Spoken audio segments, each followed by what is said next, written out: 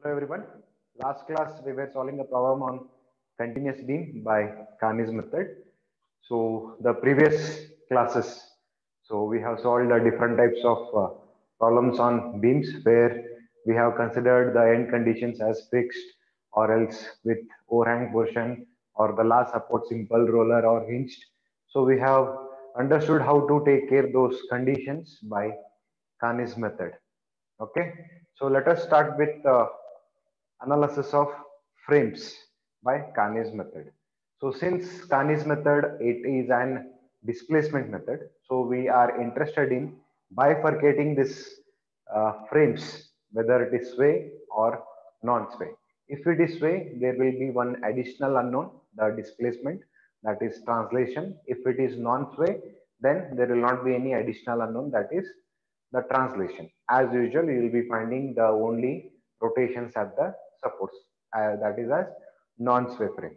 Okay, so to bifurcate the frame into sway and non-sway, so we should be uh, knowing some of the different conditions depending upon which we need to identify whether the frame is subjected to sway or non-sway. Okay, let us see those conditions one by one. So how to identify the frame as sway and non-sway. So first condition is unsymmetrical geometry.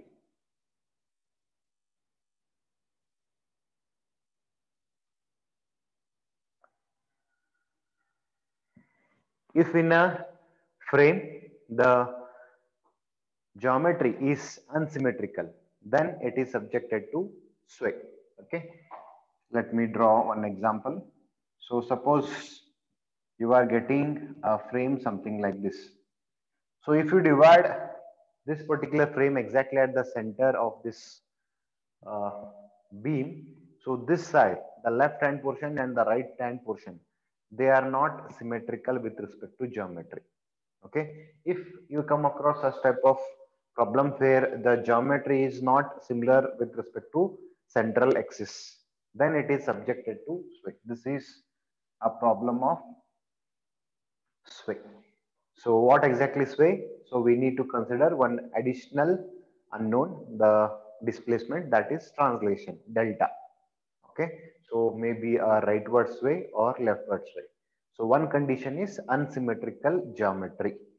Okay, about the vertical axis, the left hand portion and the right hand portion, they are not similar. Maybe this height is 5 meters, this side is 7 meters. It is unsymmetrical geometry. Maybe with inclined frame you might be getting something like this. Okay, it is also subjected to sway, unsymmetrical geometry. So it is called as skew frame, S-K-E-W. Okay, skew frame. So this column is with respect to some angle. So again, geometry on right hand side and left hand side, it is not similar. Okay, it is subjected to sway. Okay, then second condition,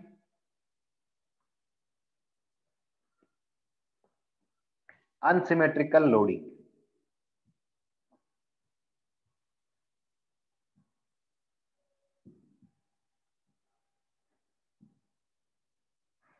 Okay, second condition is unsymmetrical loading. So how exactly? So if this is the frame, the load on first column may be 50 kilonewton. The load on this may be 20 kilonewton, but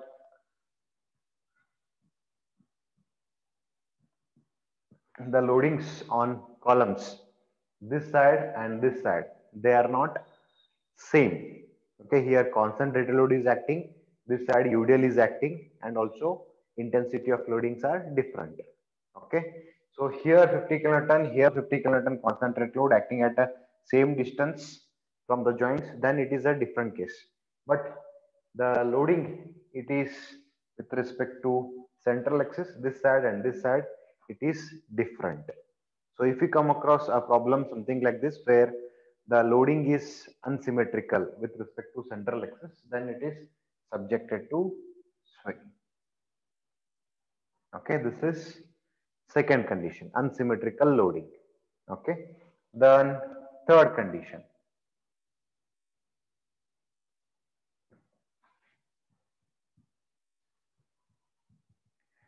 Different moment of inertia of columns. Okay, so maybe symmetrical loading.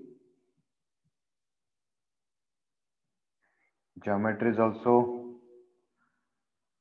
symmetrical. Okay, then column moment of inertias are of different i's, then it is subjected to sway. So if you see this column is 2i, this column is 3i. So if you come across the problem wherein the moment of inertia of columns, if they are different, then it is subjected to sway. This is third condition. Different moment of inertia of columns. Okay. So you need not to check with the beam.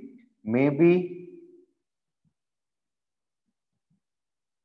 the beam and one column moment of inertia are same. But if they are different, then it is subjected to sway. Okay. Suppose here also it is 2i, 2i. This beam is of 3i. Then it is not subjected to sway. So unsymmetrical geometry if it is not there, unsymmetrical loading if it is not there, if moment of inertia of columns are same, but moment of inertia of beam is different, then no issue. So it is not subjected to sway. Only if column moment of inertia are different, then it is subjected to sway.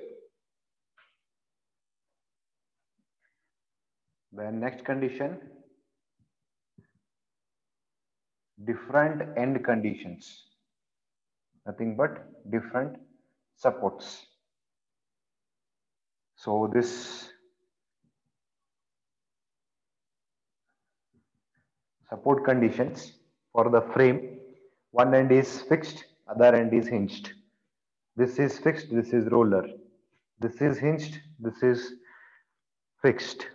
Okay, if they are different support conditions, for the columns, then it is subjected to sway. Okay, this is fourth condition. Different end conditions. Then, if it comes in this only, unsymmetrical loading, if horizontal loading is there, that is next condition. If horizontal loading is there, then also it is subjected to. So maybe the loading something like this acting at the beam level. So if it is there, then it is subjected to sway, horizontal loading. Okay, these are the five conditions you need to first check before starting solving a particular problem. Okay, so you need to identify whether the frame is subjected to sway or it is non-sway. If it is sway, then one additional unknown that is translation delta you need to consider. If it is non-sway, so you will be considering only degrees of freedom as the rotations at a particular joint. Okay. So if by suppose if you are considering the sway problem as non-sway or non-sway problem as a sway, so whole problem will be wrong. So you should be thorough with understanding these conditions and checking before starting a solving a problem. Okay. Yeah. After checking these conditions, okay, you need to check at the beam level, is there any horizontal loading? Sometimes maybe the frame like this. Okay. So this is beam level. If I say this is A, B, C, D, E. A to B, B to C. This is beam level. Okay. A, B, C. It is a beam.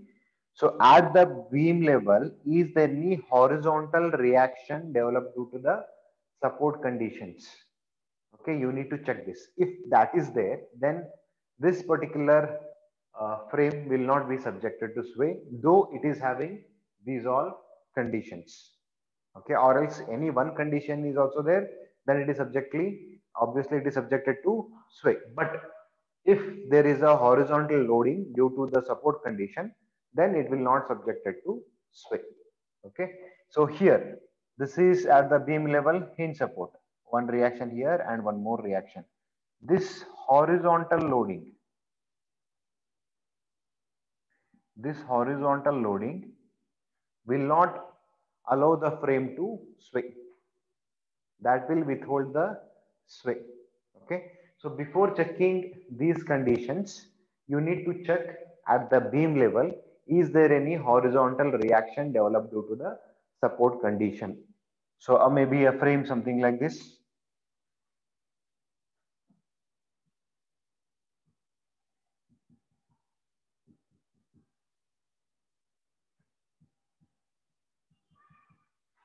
So what exactly it is? So here at the beam level, there is a roller support. So which is kept so like this horizontally. The reaction will be here horizontal reaction. So this particular reaction, it will not allow the frame to sway. Okay. So we know, so out of these five, any one condition is also present in the problem, then it is objectively sway. Correct. But if there is a horizontal reaction, then it will not subjected to sway. Though it is having unsymmetrical geometry, unsymmetrical loading, different moment of inertia of column, different end conditions, the horizontal loading, all are present or anyone is present. But if there is a horizontal reaction developed due to the support condition, then it is not subjected to sway. Remember this. So before checking these conditions, first check at the beam level, is there any horizontal reaction developed due to the support condition. If it is there, then it's not necessary to check for these all conditions. Directly you can say it is a non-sway. Okay.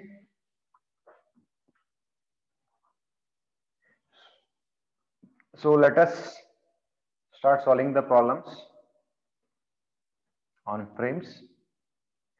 Once you have understood this, whether the problem is sway or non-sway. Okay. Let us solve with the first problem.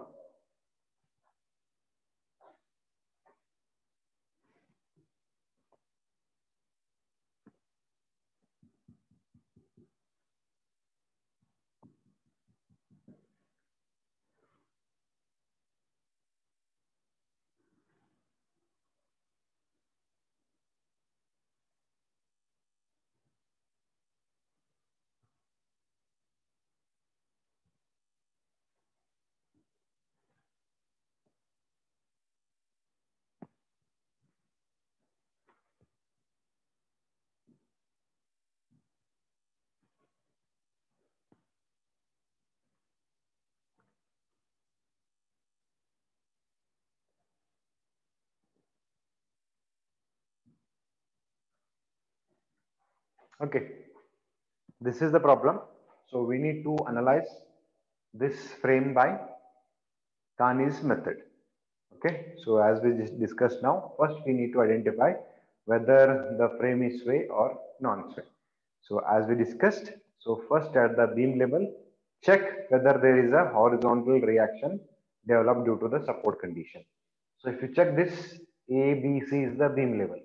So here fixed end is there, and here hinged support is there.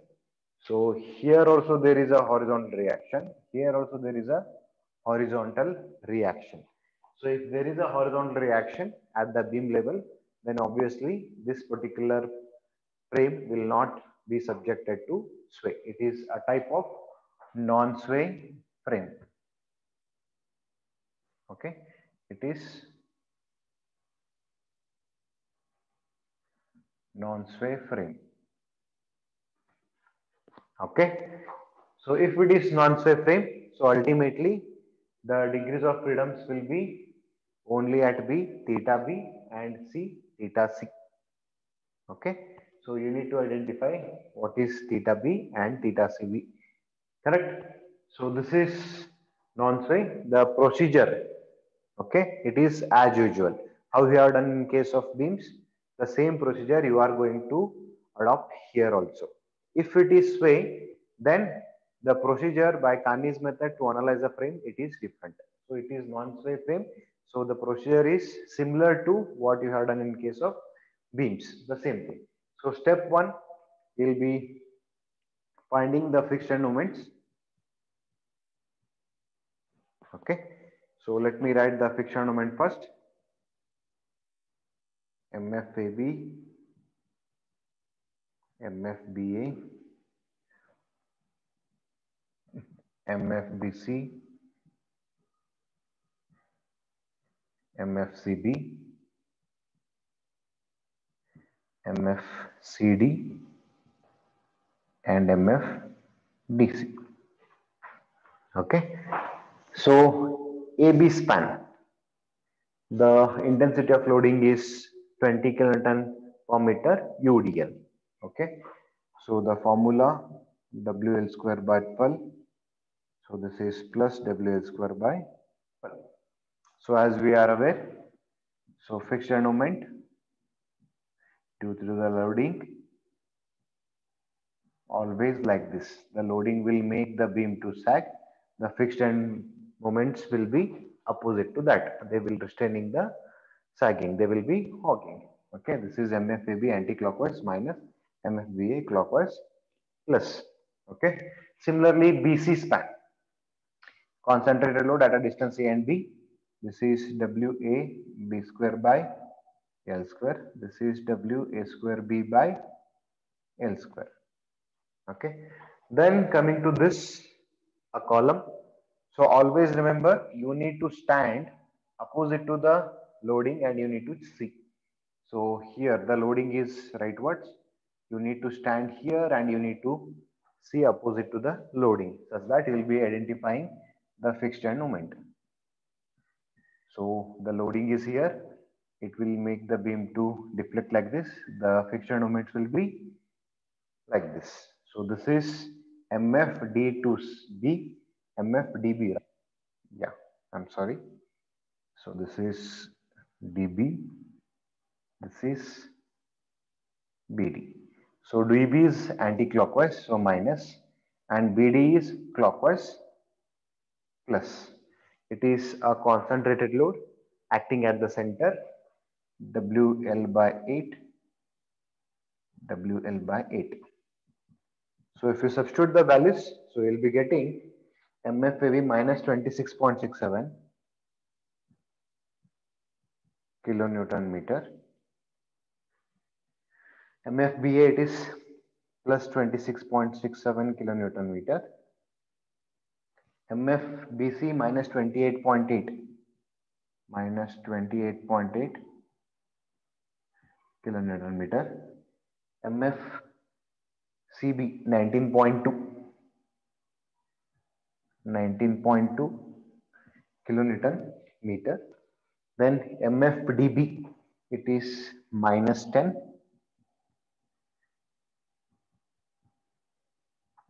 MFBD it is plus 10.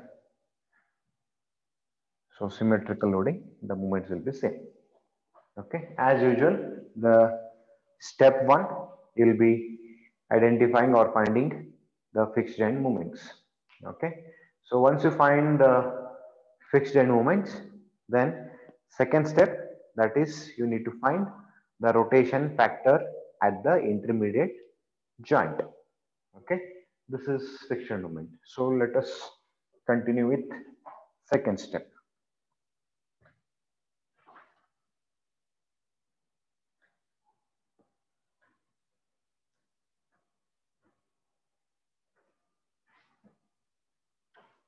So let me write it here. Step two. So it is to find rotation factor.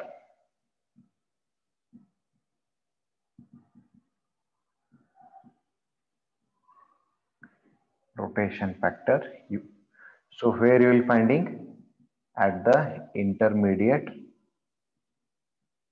joint or support where there are more than two members or more than one members are meeting. Okay. So here if you see joint B is an intermediate joint where BA is there, BC is there, BD is there. Three members are meeting. Okay. So first you will draw this tabular column joint member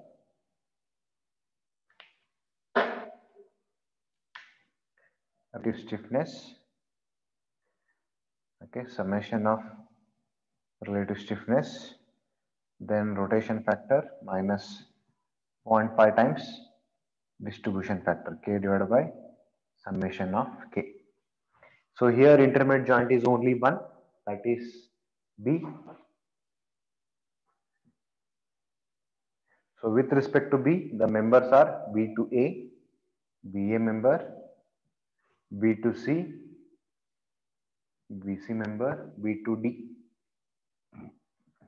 BD member. Okay, as usual, relative stiffness with respect to a joint, the next support.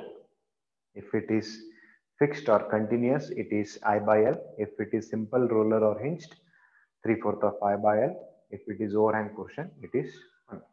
Okay. With respect to B, A is fixed, so I by L. So here EI is constant they have given, they have not said anything. Okay, so B to A, it is I by L. I by L is 4 meters. Fixed. Similarly, B to C, it is hinged. If it is roller, hinged or simple support, 3 4th of I by L. BC member B to C, C is hinged.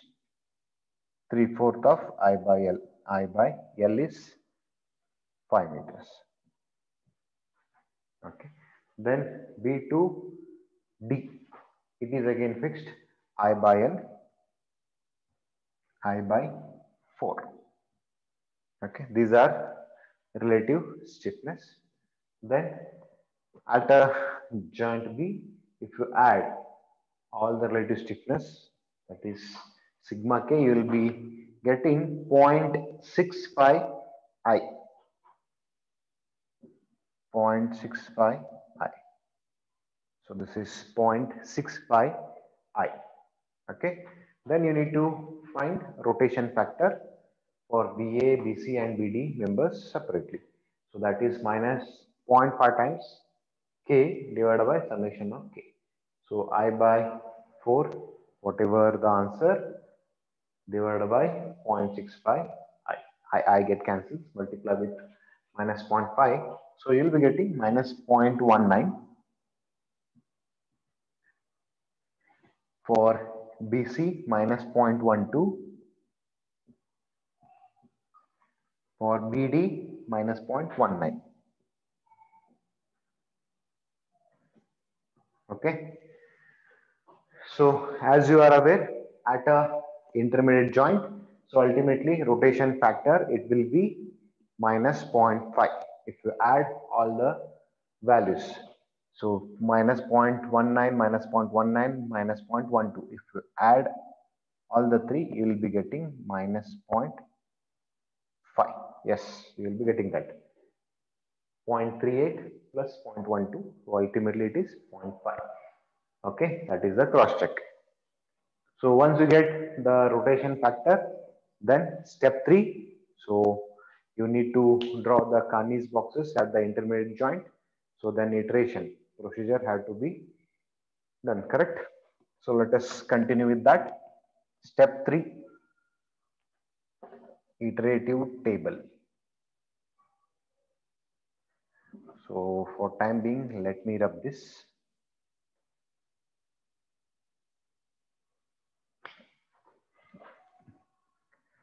So let me write it here. That is step three.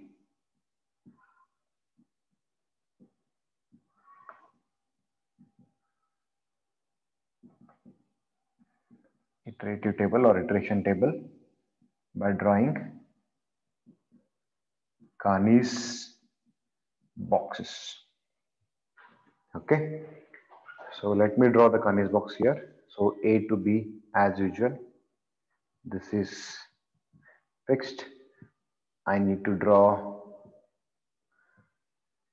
the Kani's box here. So B to C a member. So again it is hinged and B to D it is also a member. I will write this and here it is fixed. This is A, this is B, this is C, and this is B. Okay, as usual, first we need to write down all the fixture moments values, the rotation factor values inside the Kani's box, and we need to find summation of fixture moment at a joint. So here we will be writing the fixture moment values on top of the beam horizontal line. So here that is MFAB. So it is minus 26.67 minus 26.67 MFBA plus 26.67 plus 26.67 okay then B to C MFBC minus 28.8 minus 28.8 CB MFCB plus 19.2 19.2 and again BD member. So here to here the BD member was here. Correct? So this is D. So again I need to write the friction moments where I'll be writing? So near to the load. So here also where the load is there.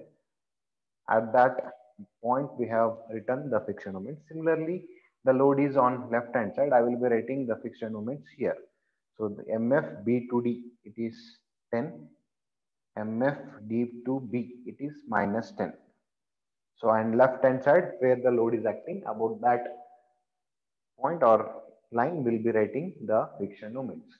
Then we have calculated the rotation factors for BA member, BC member and BD member. For BA member, rotation factor minus 0.19. So that will be written here minus 0.19. For B2C, it is minus 0.12. 0.12. Then B2D. So in case of beams, this and this were kept empty because there were no rotation factors. But here there is a column. So this has to be filled. Okay. So here it is BD minus 0.19 rotation factor minus 0.19 okay so now so let me rub this. Yeah, this is joint b. So ultimately at joint b there are three members meeting. So here inside this Kani's box okay square box we need to write summation of fixed end moment okay. Since there are three members meeting, the fixed end moments from all the three members have to be added and written here. Okay. So this plus this and also this value. Okay. If I write it here, summation of end moment, it is this 26.26, this minus 28.8 and this plus 10. Add all the three. 26.26 minus 28.8, then this 10. 1, 2, 3. All the three values has to be added. So if you add, you will be getting minus 1.73. So you will be getting minus 1.73. Okay. So this is the procedure actually how you are going to do it. But you are aware, so before doing this step, okay, before doing this step, so first I need to check at the last supports. That is important. I need to check at the last support. So which are the last support here? This is last support A that is fixed. This is last support that is also fixed. And here, this is last support and this is not a fixed. This is hinged. Okay. So, you know, if the last support is simple roller or hinge, then moment about that particular support, it will be zero. So I need to first release that particular support. I need to make it zero. Then transfer half of the moment how much you have added to the next support then you can calculate these values then you can add it here. Correct? So before doing this if you add these values it is wrong. Okay? So first you need to make this particular value as 0 okay? So if i make that 0 so how to make that 0 so here it is plus 19.2 to make it 0 i will be adding minus 19.2 so ultimately it is 0 because I know the moment at the last support, if it is simple roller or moment will be 0. So I need to make this one zero. So how much you have added? So from that transfer half of the moment with the same sign minus 19.2 transfer nothing but carry over half of the moment. So minus 19.2 divided by 2 it is minus 9.6 this is minus 9.6. Now add this. Minus 28.8 minus 9.6. Now if you add this, you will be getting minus 38.4. This minus 38.4. Okay. Now add with 26.26 this value and this value. So instead of this, if you added this, this, this, it is wrong. So first check with the last supports. If any last support is simple roller or hinge, then make that particular support as zero. Then transfer half of the moment with the same sign, how much you had it, then add it. So now it is fixed moment at a joint, summation of fixed moment. It is 26.26 minus 38.4 plus 10. So if you add all the three, MFBA, MFBC is this now, and MFBD, summation of fixed end moment at a joint. Okay, you will be getting minus 1.73. So this is minus 1.73 minus 1.73 okay minus 1.73 now this is the fixed end moment at a joint b okay so once you get this Next, you need to go on doing the trials, iterations for calculation of rotation moments. So which are the rotation moments you will be finding from joint B? So there is a B to A, B to C and B to D. Three rotation moments. But in case of beams, only two will be there at a particular joint. But here there are three members. So we will be finding three. So trial number one,